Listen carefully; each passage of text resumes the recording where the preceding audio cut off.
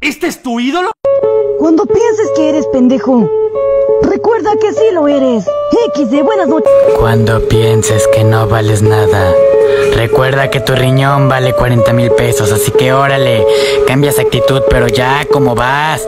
Ándale. Si la que te gusta no te hace caso, métele un chidori. Sígueme para más consejos de Emo Vengador.